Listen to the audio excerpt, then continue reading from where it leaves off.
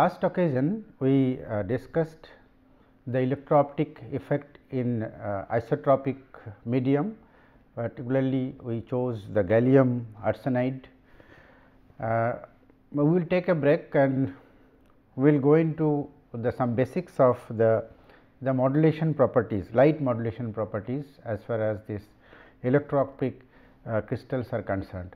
So, uh, we will be discussing uh, this uh, these topics understanding the electro-optic light modulation. Uh, phase we will start with the phase modulation for longitudinal and transverse configurations. Then uh, we will be talking about the, the experimental setup and the principles of the amplitude modulation and polarization modulation. So, we divide this under two categories that is longitudinal configuration and transverse configuration for this phase modulation, amplitude modulation and polarization modulation. These are the three very important properties of uh, electromagnetic waves which can be modulated to develop various kinds of measurement instruments, sensors and several other technologies. Phase modulation. So, let us try to understand what phase modulation is and uh, you know we will uh, first consider a simple case very simple case of a plane wave z propagating plane electromagnetic wave and let us assume that this uh, electric field vector is oriented along the x direction. So, in that case we can write down this plane wave equation in the form of sinusoidal equation it could be represented as an exponential uh, phase equation as well. So, look at this uh, this x cap indicates the polarization E naught is the amplitude and this is the phase factor. Now, these are the three things which can be modulated polarization, the amplitude and the phase. Amplitude modulation is relatively uh, simpler to understand it can happen just by blocking the electromagnetic wave with a frequency with the characteristic frequency of the modulating wave. There are, but in this case we will apply uh, some electro-optic method to modulate the amplitude, but phase modulation and polarization modulation they are uh, slightly uh, different to understand uh, in this context. So, we will first talk about the phase modulation then polarization modulation. So, in general we started with a, a simple plane electromagnetic wave which is propagating along the z direction and the polarization is along x.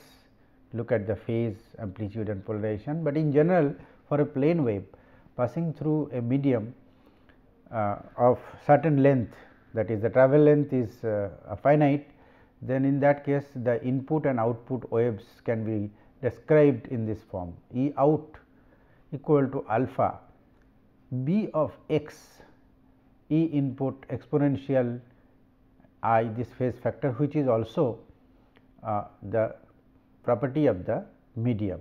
So, alpha is the attenuation or it could be the transmittance by the medium, b is the polarization properties of the medium, phase contribution due to the medium is described by phi 1 this is the contribution of the phase due to the medium and x indicates the properties which are related to the medium. So, there would be some sort of influence of the medium which will be appearing in this plane wave equation uh, in the form of the polarization, the phase, the amplitude.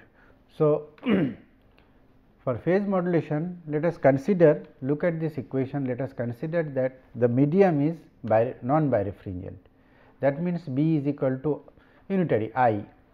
So, uh, this B term does not appear here. And also consider that the medium's transmittance is alpha equal to 1 that is there is no attenuation. And then this previous equation this can be represented as as E out equal to E in and this exponential of phase factor phi 1 the phase retardation that depends on L and N. So, this is the very basic point to understand the phase modulation. So, this is the phase which is uh, which is a function of the uh, medium dependent refractive index that is seen by the propagating electromagnetic wave and the length of the travel. So, put together this is the phase. Now, if we can modulate this length is L anyway is fixed and lambda if we choose a certain monochromatic wave of wavelength lambda. So, this n this L and lambda they are fixed and it is only the refractive index that can be that if we can modulate which will in turn result in the modulation of the phase phi and we will see how we can implement this phase modulation scheme in the case of electro-optic modulators. For polarization modulation, for polarization modulation, uh, if we consider the linear birefringence, then there will be two specific states of polarization, uh, the two eigenstates and we can describe this polarization eigen matrix by this where this phi 2 is the birefringence, the, the phase retardation slow axis, fast axis refractive indices and this is the length L over which the two polarization states are traveling. So, we can represent this this the effect of the medium through this matrix uh, to relate the input and output electromagnetic wave. For circular birefringence, the medium induced changes in the polarization azimuth is given by this equation, where uh, this phi 3 is the rotation angle which is caused by the by the medium. Phi 1 remains the phase that is uh, that is the medium dependent phase. Okay. So, for phase modulation uh, one can use a suitable cut of the electro-optic uh, medium electro-optic crystal. A, a, light wave is phase modulated uh, without changing the polarization or intensity because otherwise it will be a mixed and will be difficult to decipher the phase modulation information. So, this phase modulation can be achieved one of the two possible ways that that is needed for a crystal and its orientation. One is that uh, the crystal's principal axis does not rotate with the applied electric field, but the axis undergo change uniformly.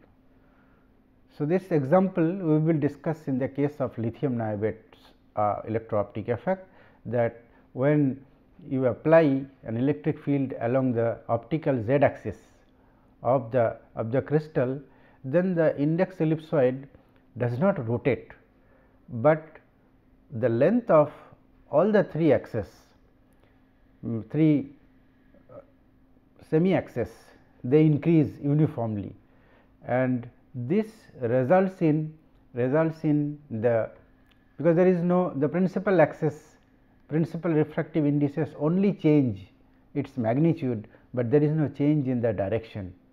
So, so you can have phase modulation if you apply a modulating voltage then the because this delta n of x or delta n of y alone will change with the modulating voltage and as a result the output light will be phase modulated. We will see this example. Okay. So, the second way is that the crystal's characteristic plane perpendicular to the direction of propagation, where uh, um, the plane rotates under the influence of the applied field. In the case when that the plane rotates, then input wave must be polarized along one of the new principal axis. That is, after the electric field, after the rotation of the index ellipsoid, this x dash or y dash, the input polarization has to be along x dash or y dash that is the new principal axis system. In that case and the field will not alter this polarization during the modulation. That means, that electric field application of the electric field uh, will be fixed only there will be a modulating field. The result will be the modulation in the value of the the x polarized refractive index or y polarized refractive index. The result will be reflected in the uh, the phase of the light that is propagating through the crystal. An example of this, this also we will discuss, we will see that a KDP uh, that is potassium dihydrogen phosphate, the electric field applied along its optical z axis will give rise to this effect and we will see in details about this effect. With a polarizer, the second case that if you have a polarizer's pass axis which is along the new principal axis x axis and the light is now incident, but this axis will be active as long as the voltage will be applied in the longitudinal direction in this direction. So, when the voltage is there this this axis will be active and the the value of this the value of the refractive index will be starting from the base value that is n 0 to the to the delta n value which is proportional to the applied electric field. So, the phase will be modulated starting from the base value corresponding to the n 0 value to the new value which is dependent on the applied electric field. So, as a result, but there is no change in the direction of anything it is only this polarized light and this polarized light will be out only there will be a modulation in the phase just because there will be a modulation in the refractive index new refractive index starting from n 0 to the new value n x dash. The electrically induced uh, change in the refractive index this is the one which I, I mentioned just now that is delta n x will be this much, but originally it was n 0 in absence of electric field plus this will be the new refractive index. So, this is the effect which has come from the external field. For a longitudinal case, this delta phi phase in this case, this will be just this multiplied by k 0 and the length of the crystal that is E equal to V into L. If I write V into L and V by L into L, then this will give you that the phase which is this is the phase which will be modulated over the base phase that is related to the n x not n x dash independent this phase is independent of length L and is linearly proportional to V. So, as you modulate V then the phase will be also modulated. I hope this is very interesting. The electrically induced phase change will be this for the case of a transverse modulator with the applied voltage. If the modulator is a transverse one, then V by D is the electric field which will be represented by this one and as a result this will be proportional to L by D. So, corresponding half wave voltage for the case of longitudinal one is delta phi this has to be equal to pi. So, if we put that delta phi equal to pi this gives you a half voltage half wave voltage which is equal to this uh, the new refractive index property and for the transverse modulator the corresponding half wave voltage will be this. So, this these are the voltages which are required to switch the modulator from state 1 to state 0 or vice versa, the way we choose the convention of switching the modulator. Now, the in case of phase modulation, if the applied voltage and hence the electric field, uh, if it is sinusoidal in time, the phase of the output can be represented by this. So, twice pi by x the into n x dash plus additional this much of the phase. So, which can be represented as this. So, the light output is for phase modulated with the modulation index which is equal to this value, because this is the total phase new phase. From this equation from this expression it tells you that it can be developed into a Bessel series del phi E 0 of t can be written in the form of this equation consisting of components of omega and higher harmonics. We will see this in the case of phase modulation for a, a particular crystal.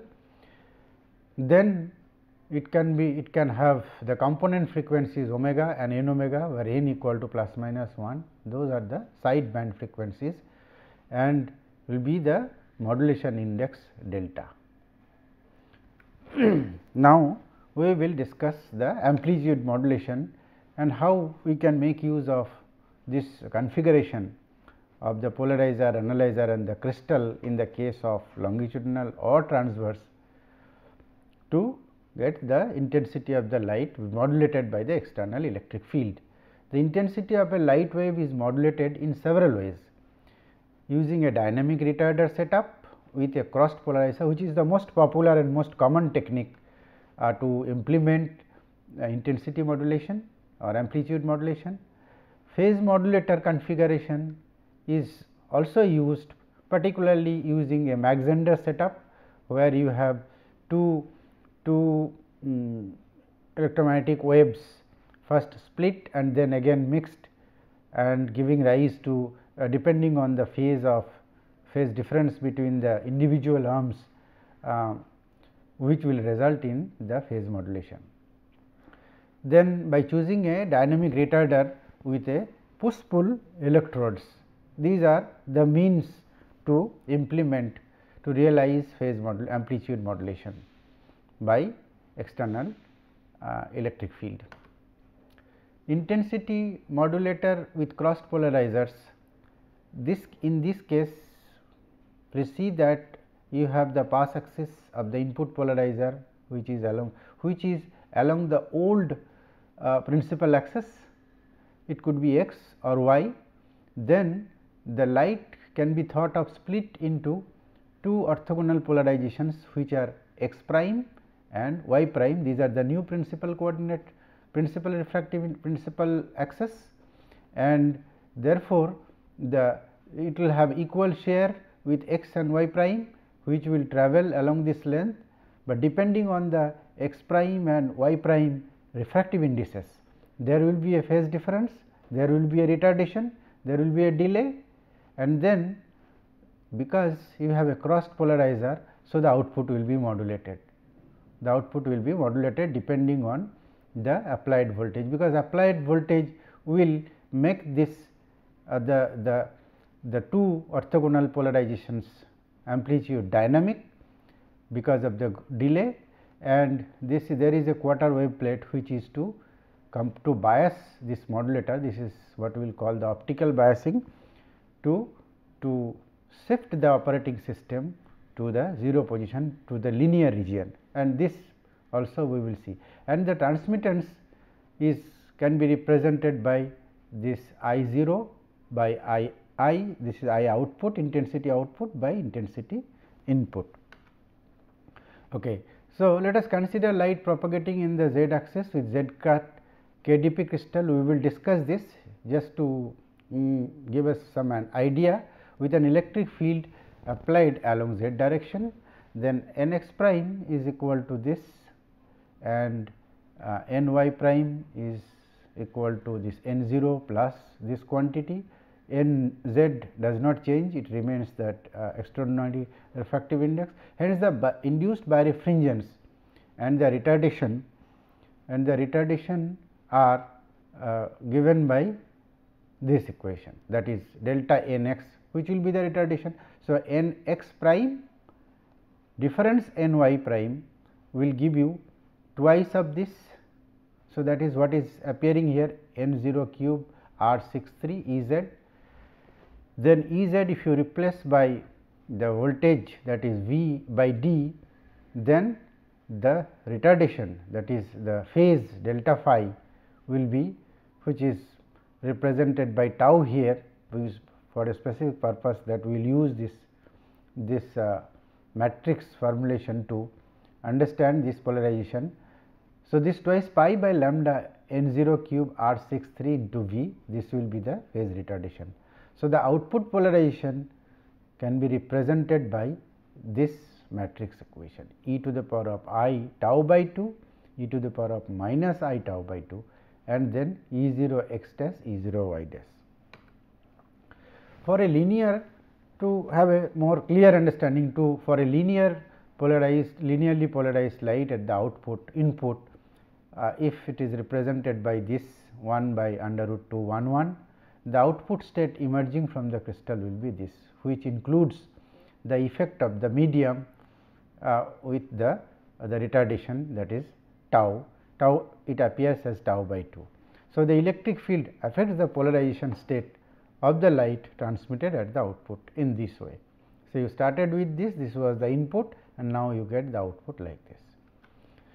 For a linearly polarized light at the input of this state 1 0 or 0 1 oh this is this is by mistake this should be 0 and 1 1 0 or 0 1 will give respectively the output emerge output state from the crystal which will be e to the power of i tau by 2 0 or corresponding to this state this will be E out will be this.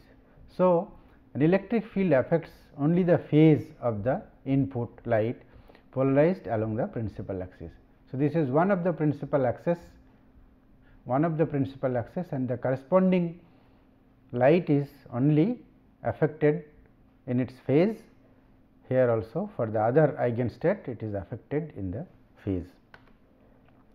For a linearly polarized light at the input that is you have both 1 1 and which is followed by a polarizer at minus 45 degree the output state will be like this.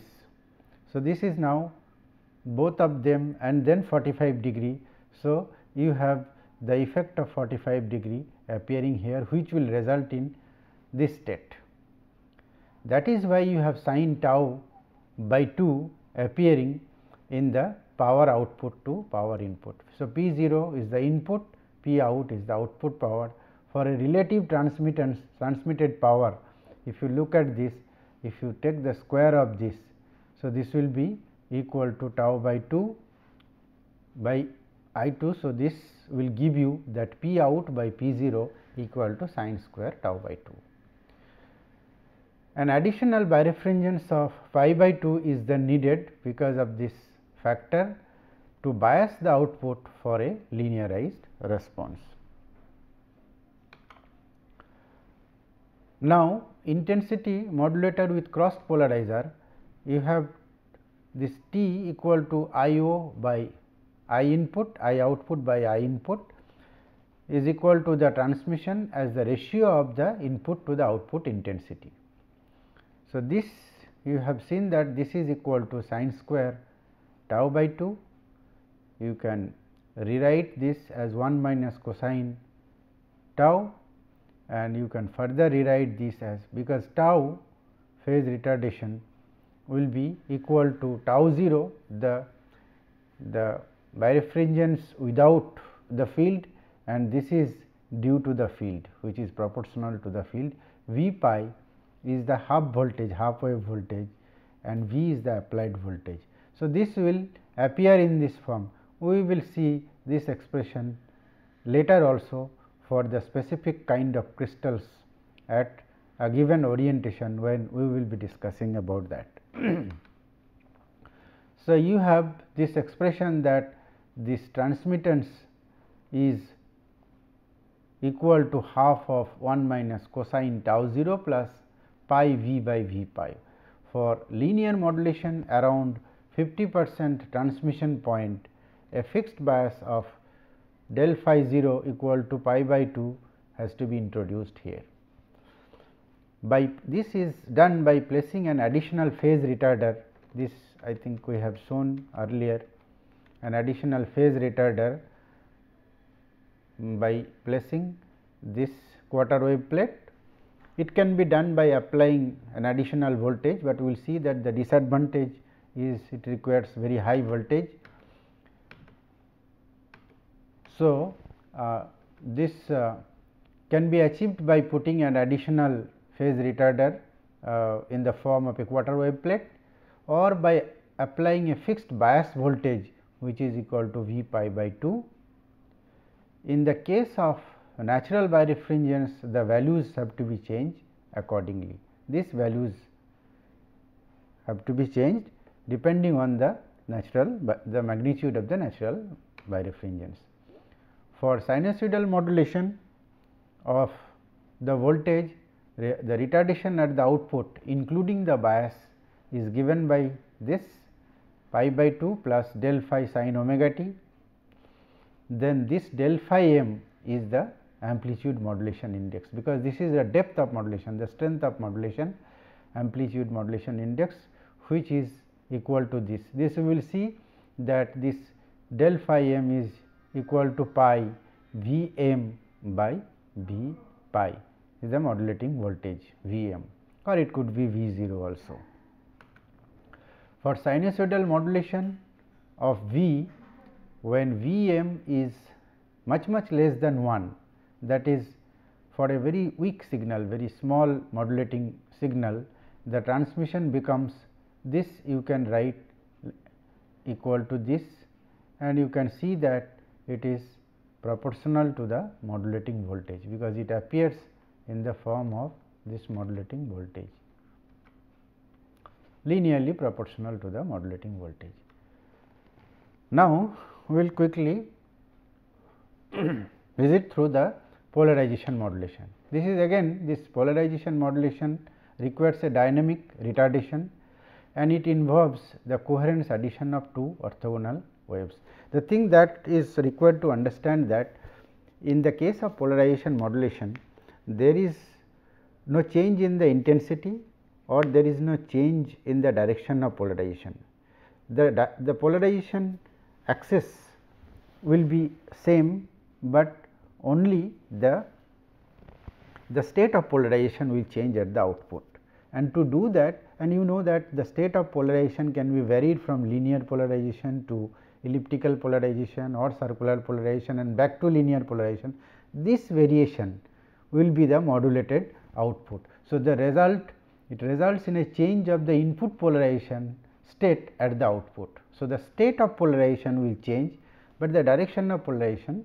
So, the crystal and the applied field are configured in such a way that there will be a dynamic fast and slow axis excited in the crystal across the cross section.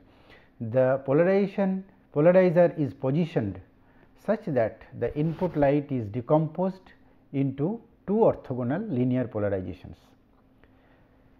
along these axes along these two orthogonal uh, eigen axes and and let us see this this setup. You have an input polarizer which has this pass axis along the old uh, old principal axis of the system. Old by saying old I want to mean that in absence of any voltage this is the principal axis system principal axis x and principal axis y.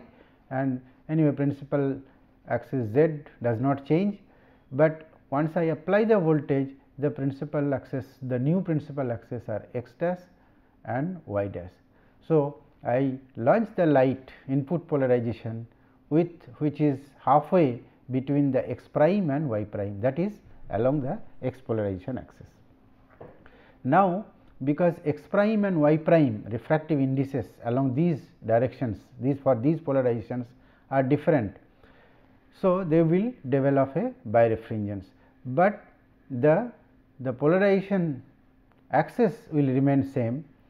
So, as a result depending on the depending on the applied voltage and hence depending on the retardation between these these two the, these two polarization that is x dash and y dash the output polarization state will be changing from linear to elliptical and back to linear depending on in this case it will be circular if I if I give equal 45 degree inclination to x prime and y prime along when the polarization is along x axis. so, if light is travelling along the principal z axis and is polarized along x or y, x or y axis, the corresponding refractive indices of the fast and slow axis will be represented by this x prime and y prime and these are the values associated with these refractive indices, new refractive indices which are voltage dependent, electric field dependent refractive indices. these are n x and n y are anyway 0 n 0. So, therefore, you have a birefringence which is which is electric field dependent birefringence which can be represented by this. Now, n x, n y and r y, r x these are the crystals electro-optic properties and this is the general way of looking at it. it depends on the specific crystal. So, delta phi is now you can see that you have a you have a, a natural birefringence of the medium and this is the induced birefringence of the medium. So, delta phi 0 is the natural one, delta phi i is the induced birefringence due to the applied external electric field. In general, the output wave is elliptically polarized, but if you if your induced birefringence is such that which is a, an electric field dependent property, voltage dependent property is equal to pi by 2, then the electric field vector is circularly polarized at the output, but if it is pi then it will be linearly polarized. So, by changing the voltage from 0 to pi you can have linear to circular, linear to circular to linear and back to circular and so on and so forth by rotated by 90 degree to the input direction. So, this is how you can switch, you can change, you can continuously modulate the polarization of the output and in this case the corresponding half voltage is given by this equation which comes from this equation that is your the voltage which is required to switch the modulator this must be put equal to pi. So, this is the phase that has to be equal to pi. So, that gives you V pi the half voltage that is required for this modulators switching from state 1 to state 0 or so and this is proportional to the wavelength lambda as you can see.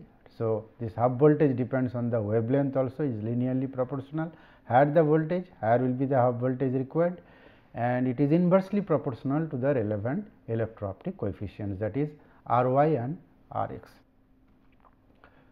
Now, so this cancelling this this is one important requirement that just to make this is the birefringence is just proportional to the applied voltage we need to cancel this natural birefringence which can be done by optical biasing or by applying a bias voltage. So, this retardation delta phi is made a multiple of twice pi which can be done by slightly polishing the crystal to adjust its length.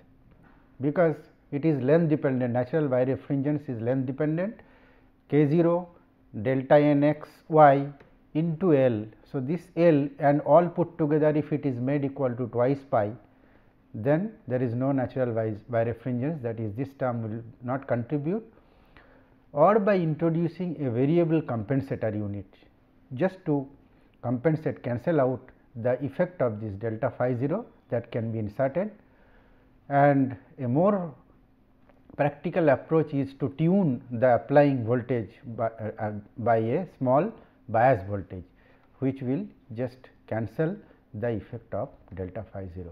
So, by this discussion we have uh, uh, tried to understand how the uh, phase modulation, amplitude modulation or the polarization modulation work in the case of light wave uh, and in the in the relevance of the electro-optic modulation by applying an electric field.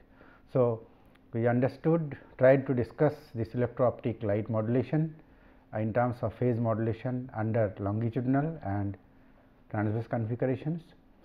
We also discussed the setup for the amplitude um, modulation and polarization modulation with the basic principles and how the phase amplitude and polarization can be modulated tried to understand.